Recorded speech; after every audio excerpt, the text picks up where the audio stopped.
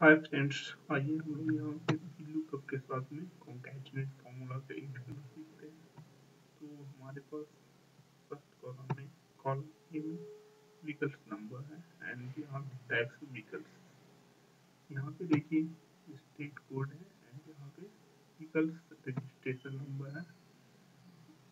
State code and vehicles registration number को जब हमने कंबाइन किया हुआ है एक साथ एक व्हीकल्स नंबर बना हुआ है।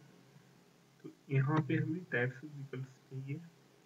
इन दोनों के रेफरेंस है तो यहाँ पे आइए हम कप के में का यूज़ करते हैं। सबसे पहले equal to value cup bracket open and यहाँ पे कॉन्केटेनेट फार्मूला लगाएँगे। नेट करना है कंकैटिनेट इसको एंड इसको ब्रैकेट क्लोज कर दिया हमने एंड ये यहाँ से लेकर के यहाँ तक क्या हो जाएगा ये lookup value and after that table array table array क्या होगा हमारा ये हो जाएगा टेबल एरे ए वन से लेकर के five तक. And after that column index number column index number with types of vehicles चाहिए तो column index number one two and ये two two डालेंगे and comma उसके बाद यहाँ पे देखिए range lookup में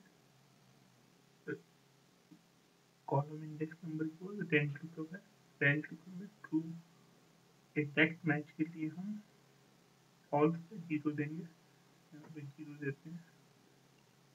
एंड ब्रैकेट क्लोज करते हैं एंड इंटर प्रेस करते हैं। ये देखिए जब इसको हम ड्रैग करेंगे। इस तरीके से आप चाहे तो वी लुकअप के साथ में कॉन्केटिनेट फार्मूला का यूज़ कर सकते हैं।